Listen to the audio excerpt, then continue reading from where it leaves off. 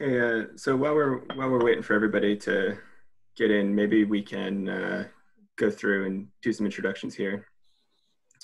Um, my name is Dane Fredericks. I am the uh, data and training administrator for Venture Portland. Um, so we've been hearing a lot about business interruption insurance, and everyone's kind of realizing that they've been paying for this thing and their business is interrupted and um, they're not getting payout from their insurance company and they're kind of trying to figure out what's going on, why that is.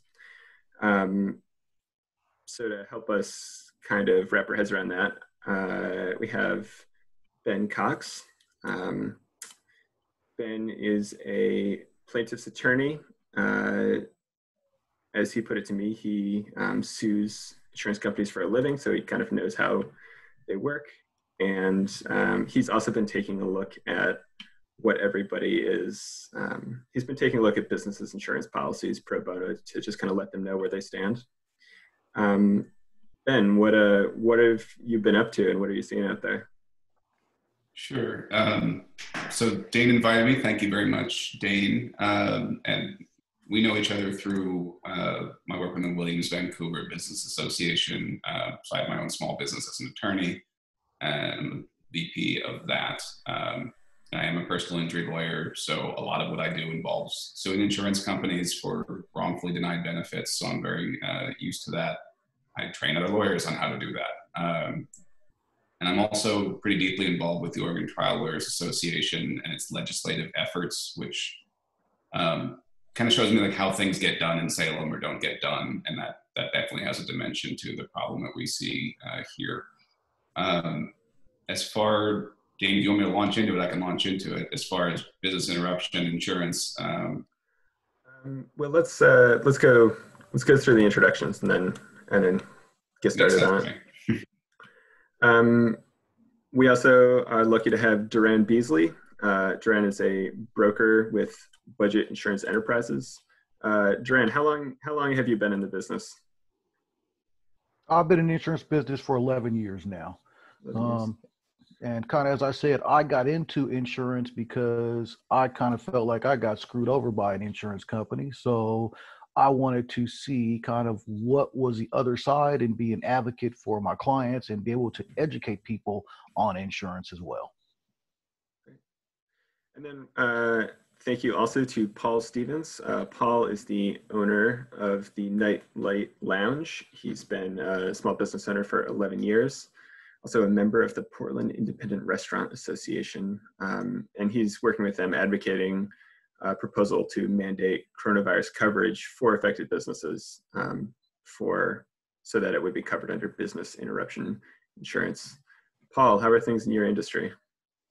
Um, they're they're we're surviving for now. Um, everybody's kind of in a waiting mode um, and trying to figure out what our industry will look like after all this is over. All right, so let's uh, let's kind of get into it, and I guess my first question, maybe Duran, you want to start us with this, is what does business interruption insurance cover? So, business interruption insurance is generally going to cover what we consider covered perils. And a covered peril is something that is generally listed in your contract. Um, it's going to be a named peril in a lot of situations, meaning that it's going to actually be a fire, it's going to be possibly some sort of flood, something that's actually interrupting your business that's outside of your control and the control of pretty much anyone else. I know when we look at the does you know the COVID and we we do see it as a business interruption, but it's just very hard to quantify how much of your business is being interrupted because of that versus because of the other things that are going on surrounding the business. So from an insurance standpoint, I mean it is not considered a peril. Um, and then and then the other question sort of the follow-up question is why aren't businesses covered um, for this virus now i mean that's that's a pretty complicated question and probably a little bit beyond my scope of you know professional, but I can tell you generally the reason that it's not covered is because of the expense of it. I mean, when you look at what insurance does cover, insurance is there to try to make customers and clients whole. But if it, it you know, it just seems, I won't say unreasonable, but it, it's not probably possible to make everyone in the world whole through insurance alone. I mean, this is it's a government function that the government is going to have to participate in. If insurance companies said, "Hey, look, we're going to cover every disease and everything that pops up out there," well, none of us who are all in business will be able to afford the business insurance that we already do not enjoy paying for. It would skyrocket the prices of those insurances and make business possibly, I mean, in most cases, unlikely to be started by, especially small businesses. And, uh, and Ben, you've been looking at a lot of people's policies. Uh, as we mentioned, you've been making yourself available as a resource to businesses. Um, what have you been seeing out there?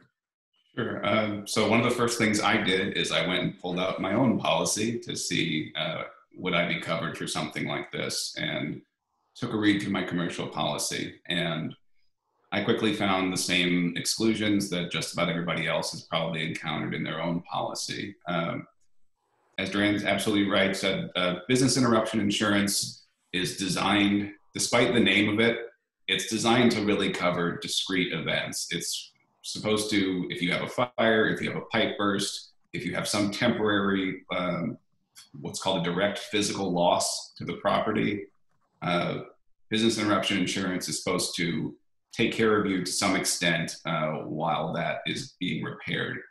It's not meant to be um, something on the scale of, of you know a national a national disaster or even a local disaster. Um, as Duran said, essentially, insurance companies are in the business of insuring and spreading risk.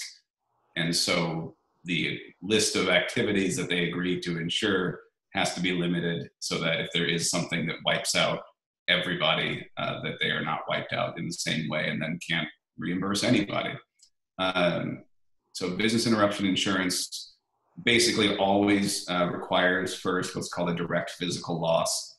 Um, there have been some there is the creative argument that the presence of virus uh, itself can be a, a, direct physical loss. There's, uh, I think, at least one court has been okay with that one at one place in the country, uh, but it's it's iffy. And then even if you have, even if that's a direct physical loss, how do you prove it? How do you prove that that your particular premises is actually uh, covered in virus?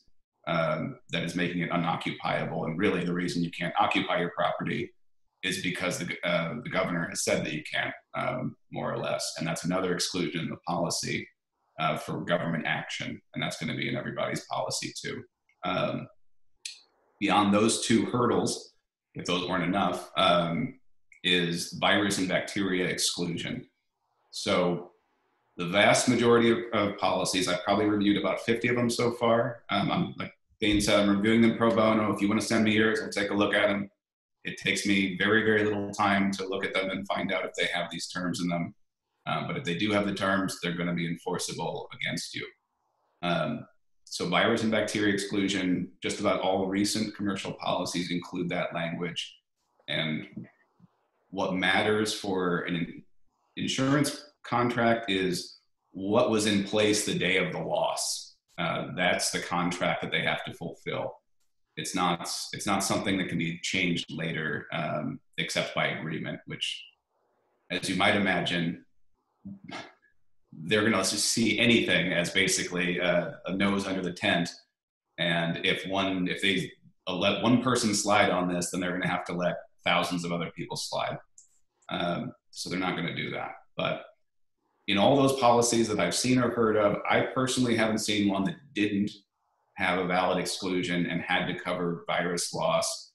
I have heard of one. I'm on a list of a thousand other uh, plaintiffs' attorneys, and somebody uh, actually found one that did not have any language uh, that excluded these things. And so that insurance company presumably uh, will and should pay for the business interruption because they failed to exclude what 99% of the other policies exclude.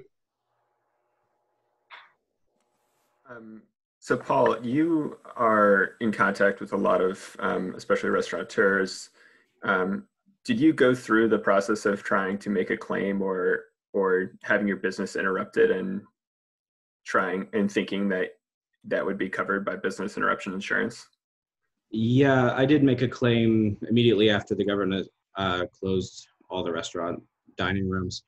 Um, and I was excluded. Um, my claim, claim was denied due to the virus exemption um, exclusion. And um, I think that they're reading those policies in one way. Um, I was not closed for a virus. I was closed by government mandate by civil authority, which there is a, a valid argument in my claim for. There's no appeals system with the insurance agency, and there's no way of testing it um, on a private lawsuit basis just because small businesses don't have that kind of funding. Most of them can't afford a lawyer, much less a, a lawsuit.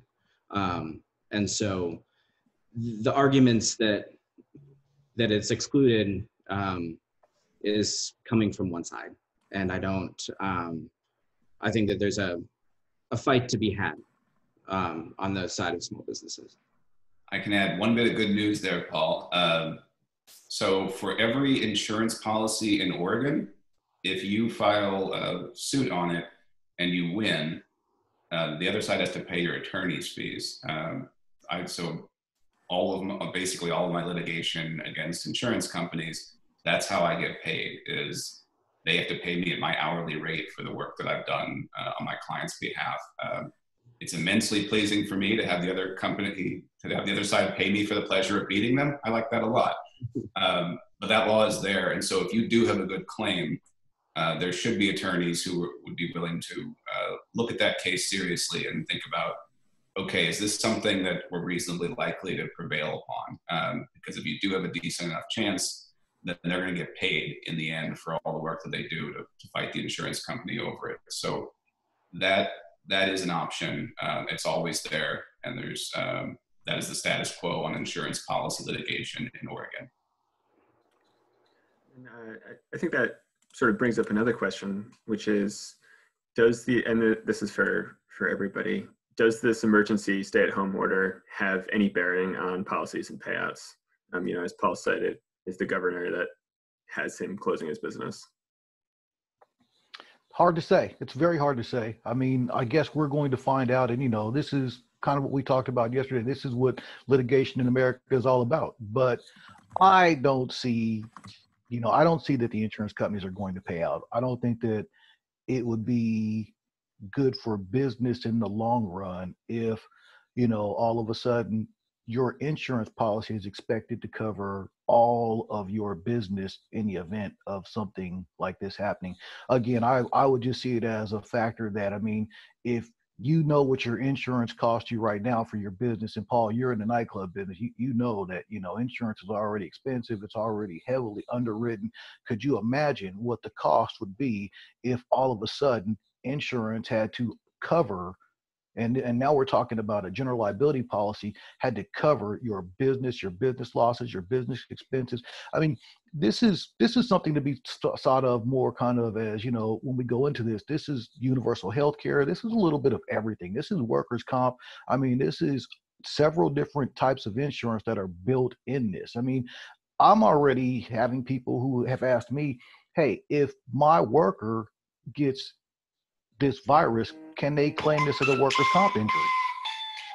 Well, that's questionable. I mean, they might be able to. Of course, the insurance industry is going to deny that claim initially, but who's to say later on down the line that a court doesn't say, yes, this worker did go to their job and they got this virus because of their work. And so this becomes a workers' comp claim.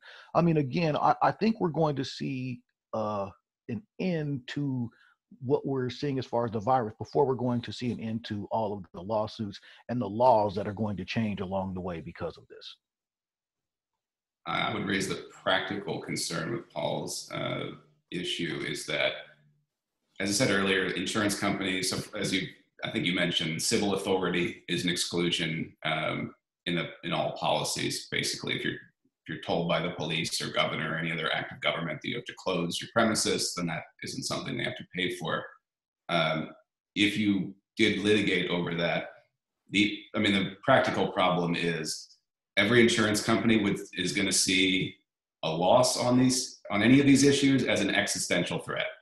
If they become responsible for paying everybody's coronavirus related business losses that they absolutely did not budget for or take premiums in to cover or whatever else, blah, blah, blah. They're going to fight it all the way. They're going to appeal. It's going to take forever. By the time you actually get anything done, your business and many other businesses will be out of business. Um, to me, the, the best practical option is probably not going to be um, through the courts. Yeah, I agree. I don't think that there's a real solution in the courts. I think it'll take too long and too many businesses will be out of business. I think you're right. Before there's any sort of resolution. And that's why we've been pushing for this on a legislative basis. And I think that um, I think that I understand the argument that the losses are going to be too large for even a well-funded in- insurance industry to handle. And I think that that's even though there's hundreds of billions of dollars, that's still not enough. And I I think everyone recognizes that, but I don't think that that's an argument for not acting. And I think that in the same way that in 2008 the federal government underwrote large financial institutions in normal business times that would be completely unacceptable. And um, but in extraordinary times to foreclose the financial collapse of the country um, extraordinary actions were taken. And i think in this similar time that a legislative federal underwriting of the insurance industry or some solution on that level to allow the insurance agencies to be insurance industry to be part of the solution uh, rather than fighting small businesses uh, the only the only real problem with that is that when you look at insurance as a whole each state gets to determine what they want to do, their own rules for insurance. Each state has their own insurance commissioner. I mean, you're right. I mean, it, it would make more sense if we could do this on a national level, but insurance is not national by any means. Every state has different insurance laws, different insurance regulations, different policies that can be in effect, different ways that they want those policies underwritten. I mean, yes, it would it would make sense on a national level, but I mean, it's it, it is currently not there. So your legislation would obviously have to start at a state level but again, the insurance companies are huge. So they're not going to fight you fairly and they're not going to fight on a state level. They're going to again take this and say, well, the, the state legislature of this state said that, but mm. the state of this state legislature has already said that they're not doing that. So now we want to move this to a district court, and then we want to move it to a bigger court. Now we're going to, I mean, again, it's the time. I think a better solution is yes, a grassroots movement for people to understand insurance, but also for there to be other things in place. I mean, we do have unemployment insurance, but we also need to have business co ops. We also need to protect our small businesses by coming together. I mean, Portland is one of the great cities for small businesses. There are so many small restaurants. When I have friends that come into Portland, they're going, man, it's amazing. You guys don't have a bunch of McDonald's and Wendy's and everything else. Oh, you got all these nice mom and pop restaurants. Well, it's great for a while, but the problem is there's no coalition between them. Everybody's competing against each other. Nobody's, like you said, they're not creating these larger groups so that they can go out in a situation like this and possibly make a a change. Yeah, and that's why we've been pushing this on the state level, is because there is a commissioner of insurance, they do regulate it on the state level. And I think if there's going to be action, it does need to start at the state level. Um, and it's the the state's uh, the commissioner of insurance's uh, duty to regulate insurance in the state and to to take the the good of the whole over the good of the the few um, and to spread the the liability around. Um, i think that it's a complicated issue but i do think it's important to be finding a, a, a solution with the insurance industry in the same way that the PPP is one avenue for help, and the EIDL loans from the SBA is a second, and unemployment, and it's going to take a lot of solutions to to save small businesses. And um, I think I just think this is one that that yeah that could work. I mean, I think it's a valiant effort, and again, we we do have to start somewhere. So I agree with the fight completely. I mean, you have to do it. I just don't know that, you know, in the short term it helps. It may in the long term help in the future, but the short term is what I would also see some, you know, some things that we can do to help. And you know, I think just being a part of a forum like this where we all understand it hey look we do need to look and not just do the business with the big companies we need to have the local function so that the people in the community can spend their money within their own communities i mean this is this is kind of going to be an important lesson that we learn from this we get so many things from so many other places and when we're not able to do that anymore it just it completely changes the way that we look at everything so whether it's we're talking about you know our meat system and you know right now the supply chain for this and no matter what it is we're looking at, we've got to look a little more locally and hopefully act a little more locally. And I think that is kind of what I think that's what you're saying here in one aspect, but you're also saying that, hey, look, we want to make sure that the government is also behind us and backing us. And I just don't know that our government currently is going to do that. Yeah. Uh, sorry, I want to jump in real quick and just mention uh, Stephen Scardina from, I guess, the Oregon Restaurant uh, and Lodging Association mentioned a, a, a civil lawsuit uh, against the governor in the chat. So, um, you know, I'm not going to speak to uh, the merits of that, but you know, it, it, there is a a lot of different efforts going on from many different people, and it'll be interesting to see how that all plays out. Um, and you can you can all see that in the chat as well uh, if you want to check that out. Mm. Um, I, I think this sort of raises the question of how much money is there in insurance companies anyway. I know everyone pays a lot of money to their insurance company. They're massive multinational corporations. Is the money there? Well, hmm. there there's plenty of money. I mean, how much money is there? Is there? I mean, there's probably the insurance industry probably controls trillions of dollars. But let's also look at that as saying that that is also built into our infrastructure. That's built into a lot of projects that we do. They have to have cash reserves on hand to cover losses for a certain period of time. But I mean, there's not a, I mean, we don't have enough cash in America, honestly, to cover this, you know, for an extended amount of time. And so we're printing more money and we're making more money. But I mean, no, the insurance companies, do not have enough money to cover a virus or anything like this. I mean, we as people are going to have to pull ourselves up by the bootstraps. We may all wind up having to make some sacrifices, but I mean, this is a this is a true national international event that is going to affect us all, as I've said, for the rest of our lives and probably our children's lives as well. And uh, Duran, you you mentioned that this is going to take government action.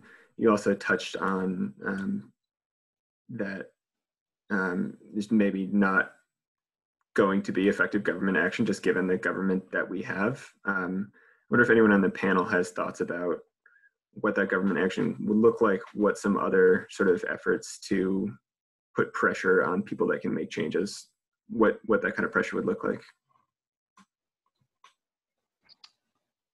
Well, I'm going to just start from, I'm just going to jump in real quick and just say that, you know, when I look at, I'm going to go in insurance. I'm going to very, I'm going to go and just talk about auto insurance, and it, it's relevant kind of because when we look at auto insurance, I sell a lot of auto insurance in Oregon, and people always ask me, well, why is my insurance so high? And the first thing I tell them is your credit score. Your credit is bad. If you have bad credit in Oregon, they are allowed to charge you more for insurance. Well, what does my credit have to do with my insurance? Well, they've discovered that there are certain factors in there that say if you have bad credit, you're more likely to file a claim. I mean, there are there are so many other factors. So when you look at it on a legislative basis, I think we have to make it fair. I mean, just to start with, insurance needs to be fair. You have huge corporations, multinational corporations that pay very little for insurance. And then you have some mom and pop businesses that pay a whole lot for insurance. And the reason why is because of what's allowed by the state. So every state, that insurance uh, commissioner that we spoke about earlier, they get to decide what are the rules. How is insurance charged for? What fees can be applied to it? You know, so on a legislative basis, you're going to have to start with a grassroots movement to say, let's just make insurance fair, period. I think that's I think that's a great place to start. I don't know. Um, frankly, I don't think that insurance is going to be the insurance industry is going to have much to do with any solution here. Um, I do. I absolutely agree that uh, Oregon should make changes to make uh, to make insurance practice fairer. For example, we have an Unlawful Trade Practices Act that specifically excludes the in, in insurance industry uh, Oregon Trial Lawyers Association and others have been trying to get that uh, law changed for a long time. Uh, most of the other states in the country have what's called bad faith law, which impl- uh, puts in place real penalties for insurance companies that don't act in good faith uh, when they adjust claims. And I see it every day that in Oregon, so in Washington, right across the river, the sky hasn't fallen, premiums haven't gone up to a million dollars. They operate a just fine economy. They have strong bad faith law and there is a measurable difference between insurance claims uh, behaviors in Washington claims versus Oregon claims. Clear as day. It's something we could do at any time. I have, um, and OTLA's going to be working on that and keep working with other legislative partners to try and make it happen. Um, I have all the information on that. I have a one sheet about the Unlawful Trade Practices Act and testimony from small business owners uh, talking about how they got screwed uh, in their insurance laws and why the, change could be good. Um, beyond that, though, I think the question that you're really here for is you know, how can I save my business now?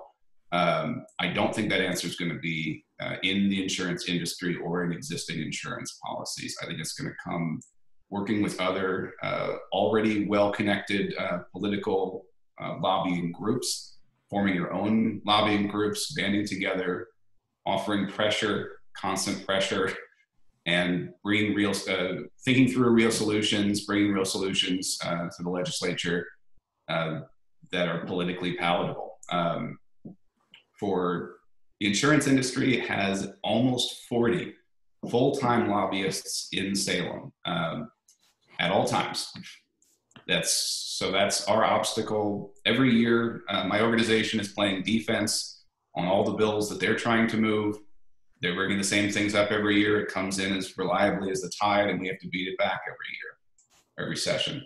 Um, and then we play offense too. We try and uh, put forward bills that are favorable for consumers and businesses, um, and they fight those. And so it's a constant, uh, very well funded adversary. And to me, the solution here isn't to pick a fight uh, with an entity that large unless you think you can actually uh, win it.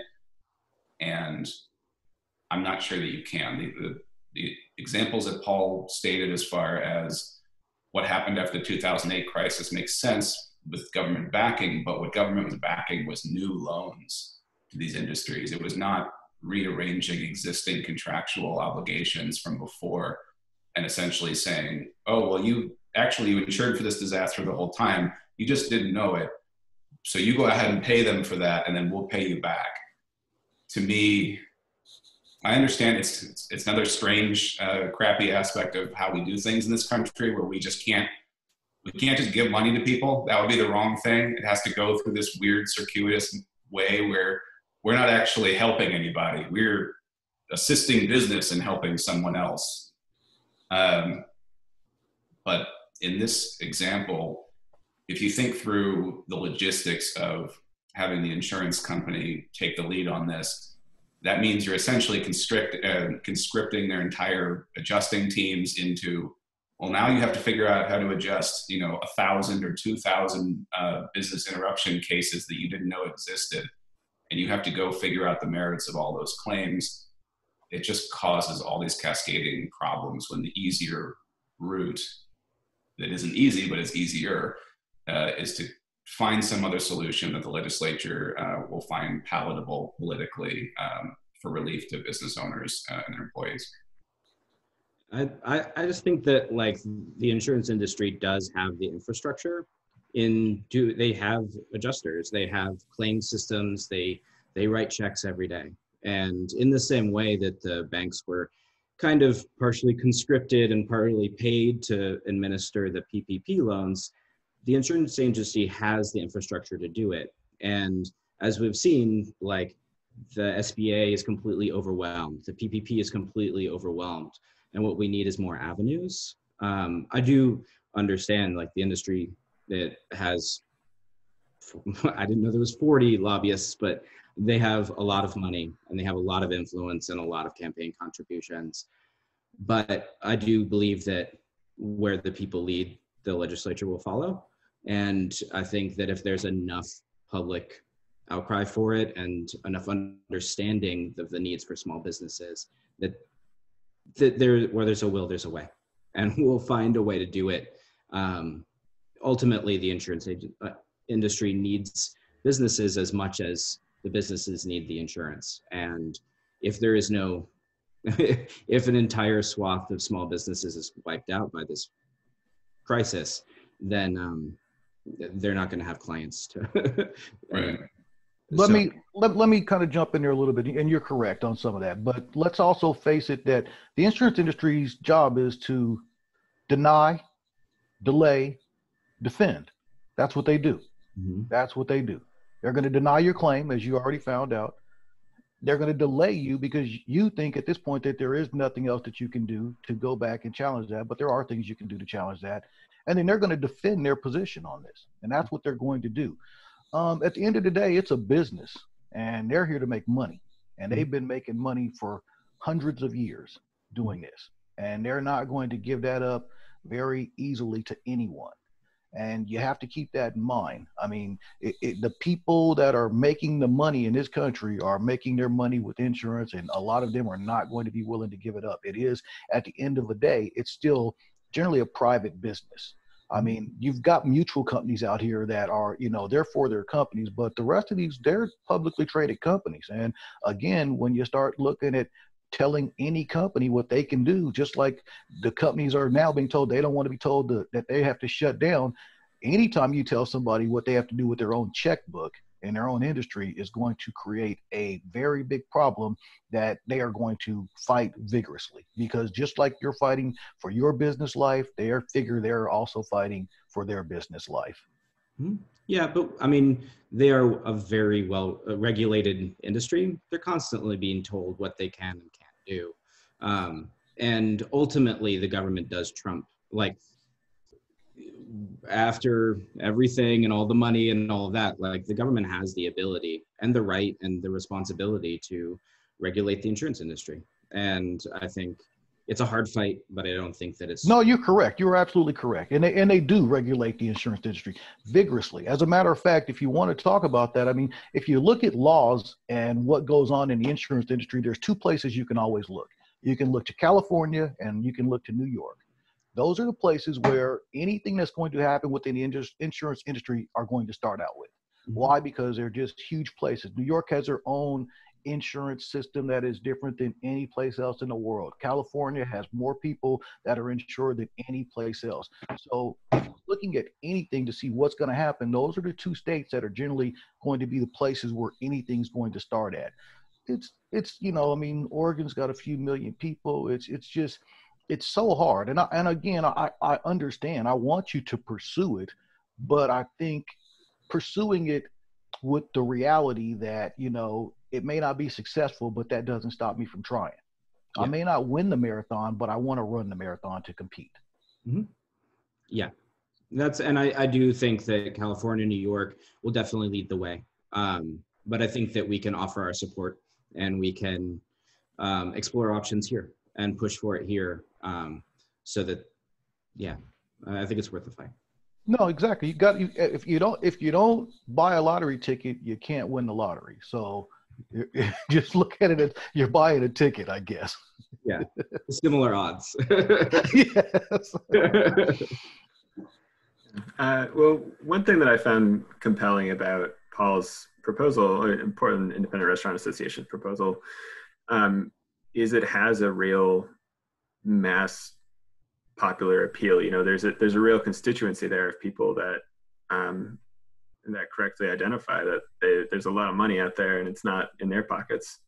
Um, so you know, I, I think that does raise the possibility of these more popular movements that uh, you know change the paradigm and, and change what's possible. Um, so I, I, guess my question for all for everyone on the panel is, um, what happens next? You know, how is this going to affect the business landscape as re reopen? Uh, who's going to still be around, and and are we looking at any big paradigmatic shifts, especially in the insurance industry? That's, oh, go ahead. I'll let anyone else answer that. I, I, I, mean, honestly, I, I, wrote down something last night when you sent me those questions, and, and when it came to that, my answer was Wild Wild West. I mean, it really is the Wild Wild West right now. I mean, I, I don't know. I don't think anyone can give you an answer on where is this all going to go because it's someplace we've never been before. This is this is just totally new territory, and we can all give our opinions, and that's all that they are. But at the end of the day, I think our solution is yes to continue to the fight with the legislation, but again, I mean it's grassroots. It's got to be the communities coming together. I mean, it really has to be that if we're going to go get through this together, we've got to put our hands together. And that doesn't necessarily, I mean, I understand the social distancing, so I'm not saying we got to come in, but we have to help one another give each other a leg up. And whether that's the landlords, you know, hey, maybe this is what my mortgage is, so I, I'm not going to take my profit this month and I'm going to help you stay in this place to, you know, my neighbor needs some help with something and maybe I've got a little bit extra money and some extra food, so I'm going to make sure that they get it it really, if we're going to get through this, then we've got to all do this together. And as much as, you know, our government is a great government, the United States is a great system, at the end of the day, it is for the people by the people. And we, we are the people. Yeah, I agree. A lot of the people, like, where I've seen the most positive action and most responses with working with, like, the PIRA and um, the Oregon Restaurant and Lodging Association, Oregon Distillers Guild, the Brewers Guild, groups that are working that represent larger business groups, um, lots of businesses, and um, they're advocating for all of us and um, working with the legislature to try and shape how the health department rules look and how on this issue um, i think that right now we're all I, I, think of it as like a parabolic flight. You know the weightless planes and we're all kind of weightless at the moment. The um, the consequences of this are not being felt. Like there's no evictions, there's no rent, like loans are all put on hold, and we're all kind of floating. And I think as we start talking about reopening, um, that's when gravity is going to kick back in, and there's going to be a lot of people who land on their feet and will be stronger than they were before. But I think there's going to be huge swaths hundreds, thousands of businesses that we're going to close um, because they yeah. didn't have the tools that they had before, like that they needed to succeed, um, whether or not they were healthy before. Um, and I'm afraid you're exactly right about that. And I think that is a good metaphor. It feels like, you know, when you see, you knocked a glass off the, off the table and you see it on the way down to the ground, that, that sort of feeling, we're in the middle of it. And it's, mm-hmm. uh, what this is going to look like as the shock waves uh, start hitting and, uh, and, secondary waves start coming in and it starts looking like the damn depression out there. Yeah. um, we're going to find out what people are willing to do collectively politically um, to sort of uh, seize the tools of government to uh, do what we can for each other uh, at a government level.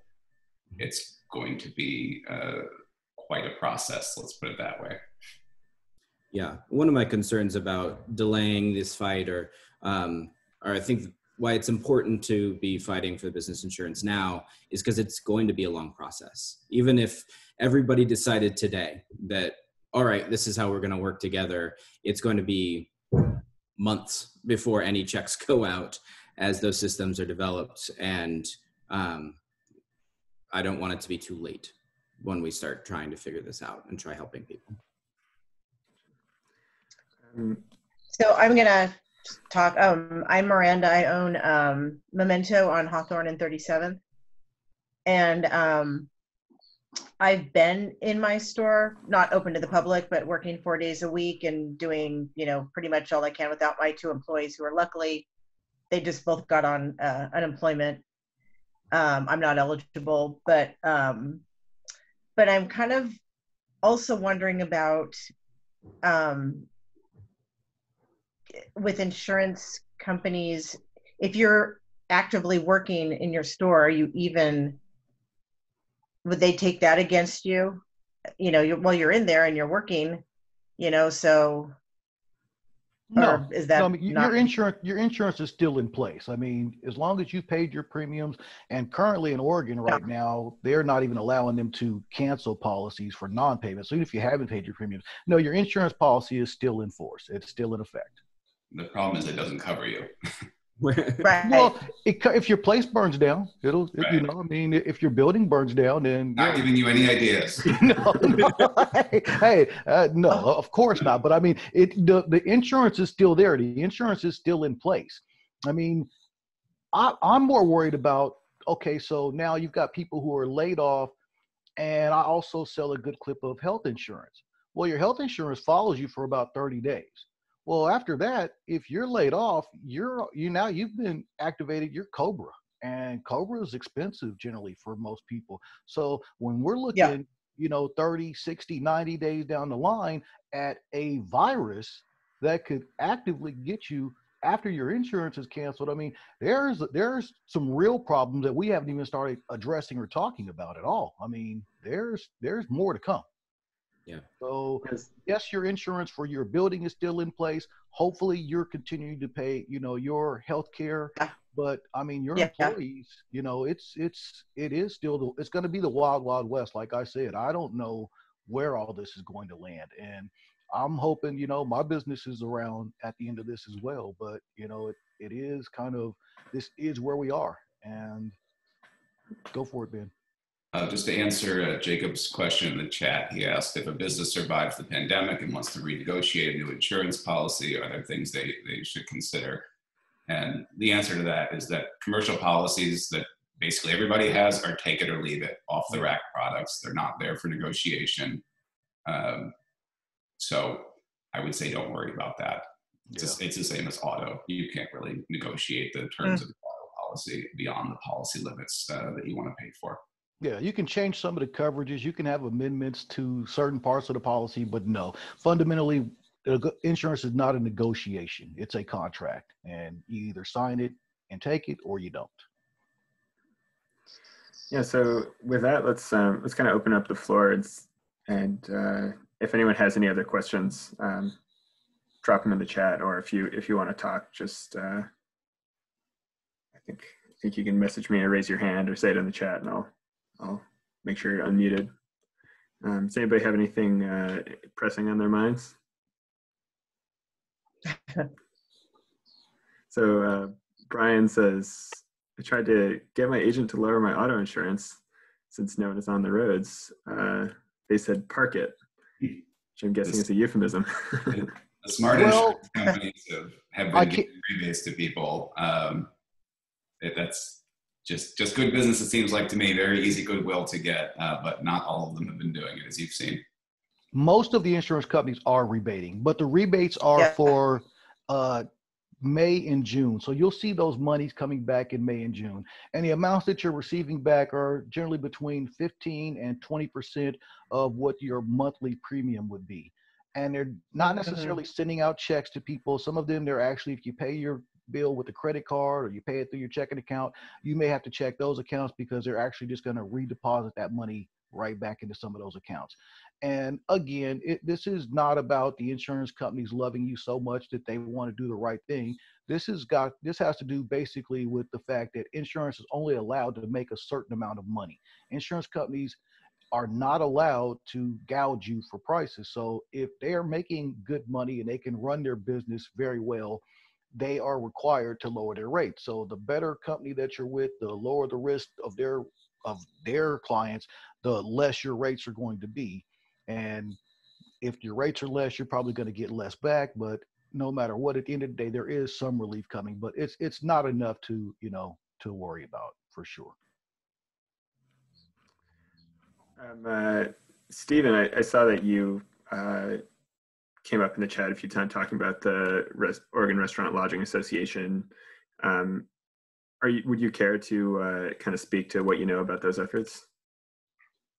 Yeah, feel free to say no. I know uh, you, not. Well, as far as I know, every you know, legislature is not in session right now, so it's it's still stalled out at the national level. But we do have legislators that are willing to take this up in legislation that we are pushing and working really hard to you know get this going. So that with just getting the state open, I don't know. I was on the uh, press conference with the governor uh, with the opening of Oregon uh, prior to this, and uh, it's going to be a slow process. So we're certainly busy at the statewide level, just doing what we can to make sure that we can speed up this process, help businesses, you know, lower the curve and get the counties to get them to reopen quicker, faster. But according to our governor, um, it's not going to happen quickly though.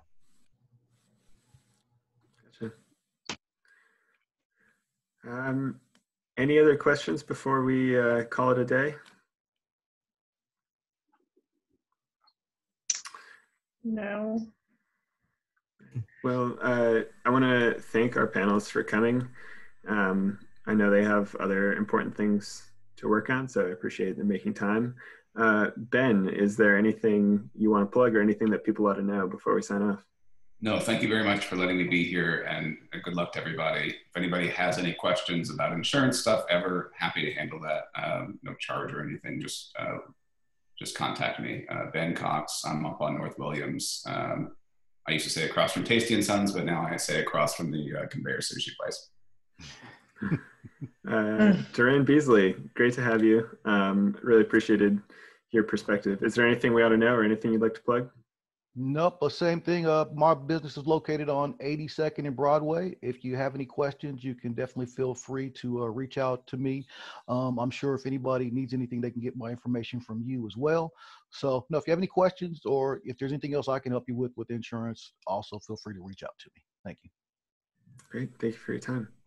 And uh, Paul Stevens, you uh, are quite busy right now uh, doing stuff with Nightlight. Thank you for your time. Is there anything that you uh, would like to plug or mention that we should know about? Um, yeah, I mean, we're starting to open up for to go and for takeout again. Um, so that's if you want to stop by, we're at Southeast 21st in Clinton.